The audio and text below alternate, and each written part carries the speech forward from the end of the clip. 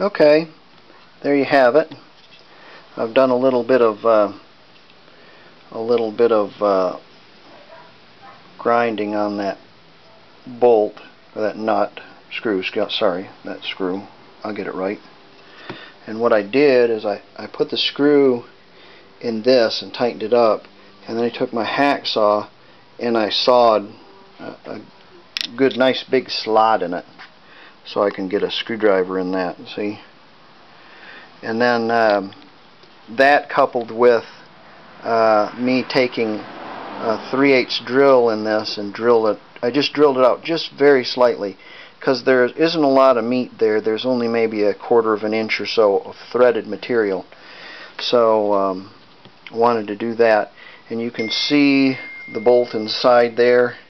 It's not touching anything uh, it's sealed up in there and this is going to sit at the bottom.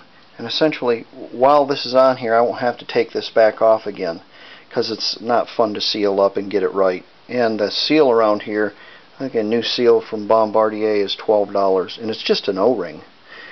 Um, so I will be able to take that out water weighs more than oil be able to drain the water out of it I'll be able to refill it with oil here. I won't have to take the nose cone off.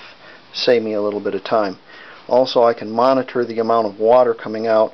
If the water becomes excessive I know I have a, an actual seal seal problem and I'll have to take it apart and, and fix it. But uh, you know the whole thing is I'll be able to monitor this easier being that I have to do it about three times a season to keep all the water out of it. Probably a lot of people haven't and they'll end up with uh, drive problems. The shaft will get worn, the needle bearings will get worn, and you'll end up, uh, it'll cost you about $500 to rebuild. Uh, get it all back together and I'll show you.